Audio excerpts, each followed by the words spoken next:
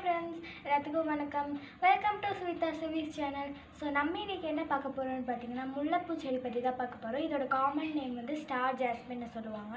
இதோட botanical name என்னென்னு பார்த்தீங்கன்னா ஜாஸ்மினம் பப்ஸ்கிரியாஸ் அப்படின்னு சொல்லுவாங்க. இதை வந்து காமனாக ஒயிட் ஸ்னோன்னு சொல்லுவாங்க. இதோட ஃபேமிலி வந்து ஒலிக்கியா இதோட இது இதோட நேட்டிவ் வந்து ஆஸ்திரேலியா இதுக்கு இதோட பர்த் பிளேஸ் வந்து யூரோப் இதில் வந்து மொத்தமாக டூ ஹண்ட்ரட் ஸ்பெஷீஸ் இருக்குது இந்த பிளான் பற்றி தான் நம்மளுக்கு பார்க்க போகிறோம் ஸோ வாங்க வீடியோக்குள்ளே போகலாம். வீடியோக்குள்ளே போகிறதுக்கு முன்னாடி எங்கள் சேனலையும் சப்ஸ்கிரைப் பண்ணாதவங்க மறக்காமல் கீழே இருக்க ரெட் கலர் சப்ஸ்கிரைப் பட்டன் அமைக்கி ஆல் நோட்டிஃபிகேஷன் கொடுத்து ஸ்கிப் பண்ணாமல் வீடியோ ஃபுல்லாக வாட்ச் பண்ணுங்கள் ஃப்ரெண்ட்ஸ் பாருங்கள் இதுதான் முல்லைப்பூ. எனக்கு கொஞ்சம் ஒர்க் இருக்குது அதனால் அம்மா கண்டினியூ பண்ணுவாங்க.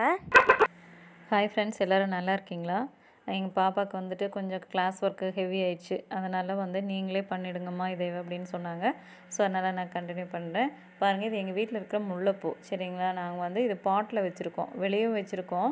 இது வந்து பாட்டில் வச்சுருக்கிறது. எவ்வளோ பூக்கள் இருக்குதுன்னு பாருங்கள் நிறைய மொட்டுக்கள் இருக்குது பூக்கள் இருக்குது இதுக்கு நான் என்ன சீக்ரெட்டாக நாங்கள் ஃபெர்டிலைசர் போடுறோம் அப்படிங்கிறத ஆல்ரெடி எங்கள் வீடியோவில் வந்து போட்டிருப்போம். பார்த்திங்கன்னா இந்த முல்லைப்பூ ரொம்ப அழகாக பூக்கள் நிறைய பூத்துட்டே இருக்கும். எப்படின்னு பார்த்தீங்கன்னா நான் வந்து மண் எங்கள் எங்கள் வீட்டில் இருக்கிறத பார்த்தீங்கன்னா கோகோ பிட்டு ஒரு ஃபார்ட்டி பர்சன்டேஜ் மண் மணல் எல்லாம் மிக்ஸ் பண்ணி தான் வச்சுருக்கோம். அப்புறம் பார்த்திங்கன்னா நான் உங்கள்கிட்டே சொல்லியிருக்கேன்.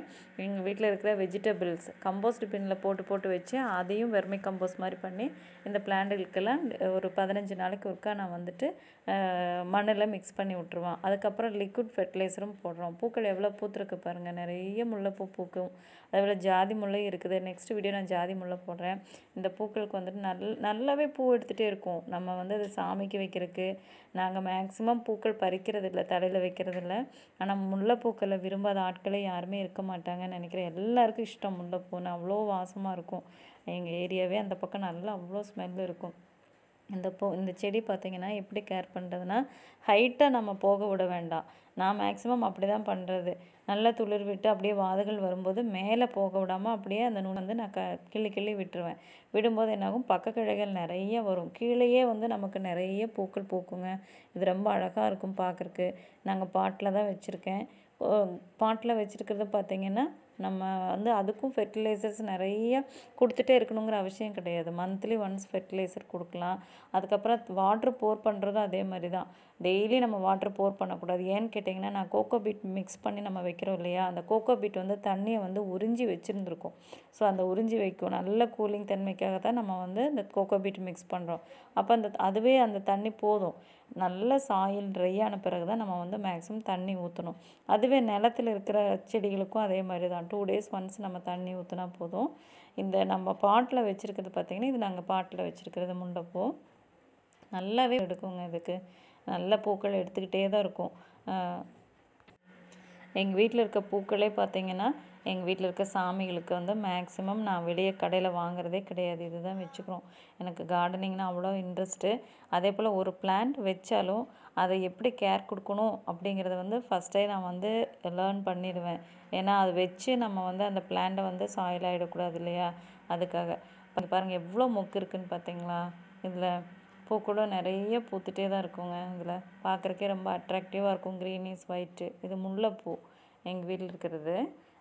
இது இதே போல் பார்த்தீங்கன்னா பறிக்கிறது விரிஞ்ச பிறகு பறித்து நம்ம கெட்ட முடியாது. அதனால் மொக்குகளாக இருக்கும்போது கொஞ்சம் பெரிய பெரிய மொக்காக இருக்கும்போதே நம்ம அதை பறித்து கெட்டி வச்சிடலாம்.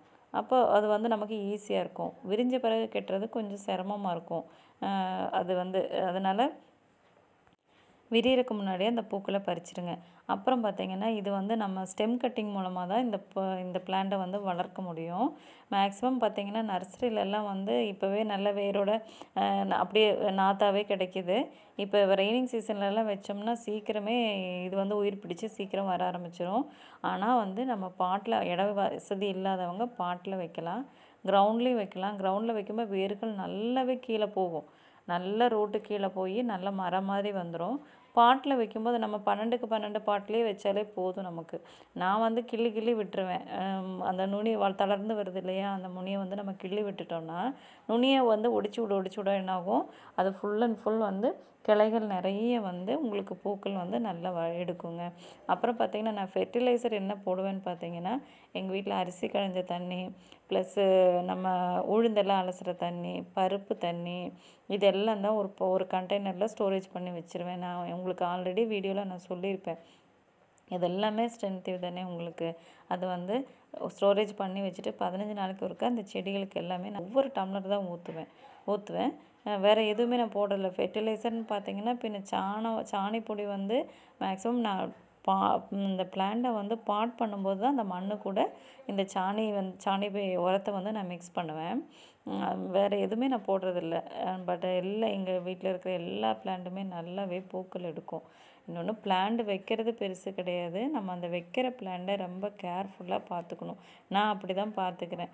ஒவ்வொரு பிளான்ட் எங்களுக்கு கார்டனிங்னா அவ்வளோ இன்ட்ரெஸ்ட்டு இன்ட்ரெஸ்ட் இருந்தாலும் இது நம்ம வந்து ஒரு செடி வச்சிட்டோம் அப்படின்னா அதை வந்து அதனோட உயிரை வந்து நம்ம அது வந்து நம்ம பாதுகாக்கணும்.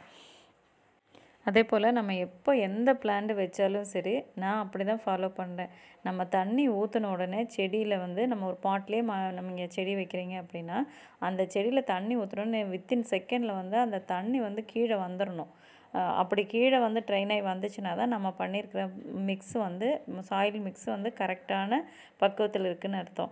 இல்லைன்னு சொன்னால் ட்ரையாக எப்படியே தேங்கி நிற்குதுன்னு சொன்னால் அது வந்து வேரழுகல் நோய் வந்துடும் நம்ம தண்ணி ஊற்ற ஊற்ற தண்ணி வந்து அதில் உள்ள ஸ்டோரேஜ் ஆகியே தான் நிற்கும் எப்போ நீங்கள் வந்து பாட்டில் செடிகள் வச்சாலும் பாட்டில் வந்து நிறைய ட்ரைனேஜ் ஹோல்ஸ் போட்டு தான் நம்ம வைக்கணும்.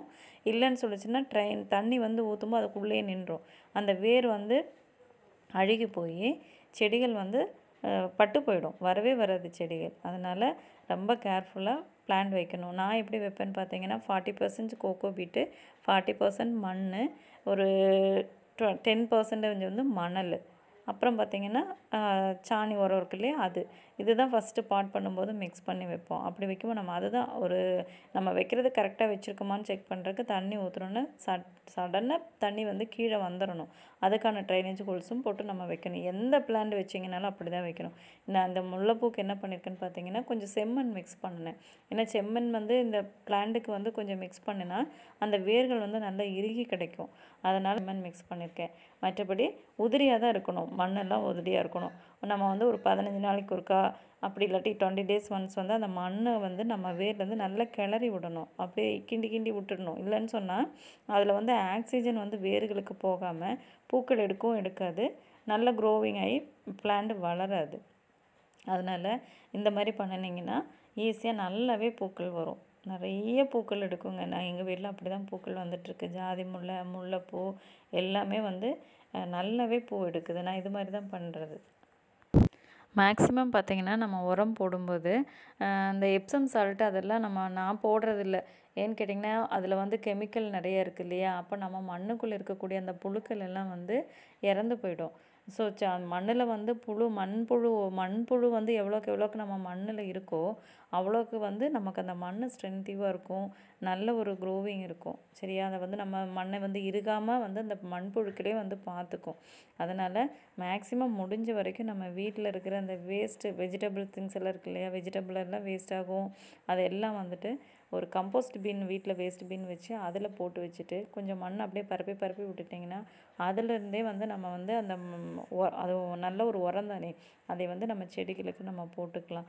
மேக்ஸிமம் கெமிக்கல் இருக்கக்கூடியதை அவாய்ட் பண்ணிடுங்க அதுதான் பெட்ரு ஏன்னா செடிகளுக்கும் வந்து நல்லா க்ரோத் ஆகாது.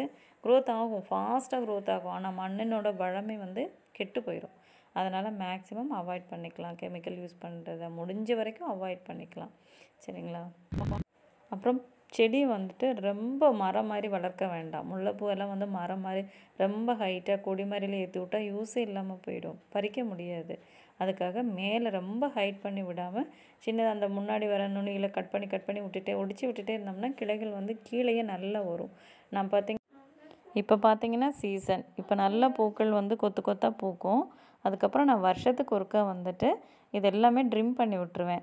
அதுக்கப்புறம் பார்த்தீங்கன்னா நல்ல துளிர்கள் வரும். வருஷத்துக்கு ஒருக்கா நம்ம மே நல்ல மரமாகாமல் கீழேயே கட் பண்ணி கட் பண்ணி விட்டோம்னா நல்லாவே வந்து பூக்கள் எடுக்கவும் ஆரம்பிக்கும். கிளைகள் நிறையவே வரும். ரொம்ப ஹைட்டு போச்சுன்னா நம்ம வைக்க முடியாது. ரொம்ப ஹைட் போச்சுன்னா இந்த நமக்கு யூஸ் இல்லாமல் போயிடும். அதனால் மேக்ஸிமம் கீழேயே இருக்கிற மாதிரி பார்த்துக்கோங்க. நீங்களும் வீட்டில் வாங்கி வச்சு இந்த செடி இந்த செடியை வளர்த்துங்க. இந்த முல்லைப்பூ பற்றி உங்களுக்கு வேறு ஏதாவது டிப்ஸுகளெல்லாம் தெரிஞ்சிச்சுன்னு சொன்னால் எனக்கு ஷேர் பண்ணுங்கள் எங்களுக்கு கமெண்ட் பண்ணுங்கள் நானும் பார்த்துக்கிறேன் ஏன்னா எங்கள் வீட்டில் நான் எப்படி வைப்பனோ அதை தான் உங்களோட நான் ஷேர் பண்ணியிருக்கேன் ஸோ உங்களுக்கு வேறு நிறைய விஷயங்கள் எல்லாம் தெரிஞ்சிருக்கும். ஸோ தெரிஞ்சதை என் கூட ஷேர் பண்ணுங்கள் எனக்கு கமெண்ட் பண்ணுங்கள் இப்போ பார்த்தீங்கன்னா ரைனிங் சீசன் இப்போ வந்து நம்ம முல்லைப்பூ மல்லிகைப்பூ ஜாதி முல்லை எந்த பிளான்ட் வச்சாலும் நல்லாவே சீக்கிரமே க்ரோத் ஆகி வரும். ஸோ இந்த சீசனில் வைக்கலாம். நான் அப்படி தான் வச்சேன். நீங்களும் அதே மாதிரி வச்சு செடியை பாதுகாப்பாக வளர்த்துங்க. எல்லோரும் ரொம்ப சேஃபாக இருங்க. கொரோனா பீரியட் முடிஞ்சிருச்சுன்னு ரொம்ப கேர்லெஸ்ஸாக இருக்காதீங்க. எல்லோரும் வெளியே போகும்போது டபுள் மாஸ்க் போட்டுக்கோங்க. எல்லோரும் அவங்கவுங்க ஃபேமிலிக்கு முக்கியம். ரொம்ப கேர்ஃபுல்லாக இருங்க. இப்போ வந்து கொரோனா வந்து கம்மியாகிட்டே இருக்குது கம்மியானாலும் வீட்டில் எல்லோரும் சேஃபாக இருங்க. ஹெல்தியான ஃபுட்ஸை சாப்பிட்டு ஹெல்தியாக வீட்டிலே இருங்க. இது என்னோட சின்ன ரெக்வஸ்ட் இன்றைக்கான திருக்குறள் பார்த்திங்கன்னா ஐம்பத்தி ஆறாவது திருக்குறள் வாழ்க்கை துணை நேரத்தில் தற்காத்து தற்கொண்டான் பேணி தகை சான்ற சொற்காத்து சோர்விலான் இதுதான் ஃப்ரெண்ட்ஸ் இன்னைக்கான திருக்குறள். இதோட பொருள் பார்த்திங்கன்னா தன்னை காத்து தன் சார்ந்தவர்களையும் பாதுகாத்து தகுத்தி தகுதிக்கு உதாரணமாக வாய்ச்சொல் காத்து சோர்வில்லாமல் இருப்பாளே பெண். இதுதான் ஃப்ரெண்ட்ஸ் இன்றைக்கான திருக்குறள் பொருள். ஸோ எங்கள் சேனல் உங்களுக்கு பிடிச்சிருந்தா லைக் பண்ணுங்கள் ஷேர் பண்ணுங்கள் கமெண்ட் பண்ணுங்கள் மறக்காமல் கீழே இருக்கிற ரெட் கலர் சப்ஸ்கிரைப் பண்ணி நமக்கு ஆல் நோட்டிஃபிகேஷன் கொடுத்து ஸ்கிப் பண்ணாமல் வீடியோ ஃபுல்லாக வாட்ச் பண்ணுங்கள் பாய்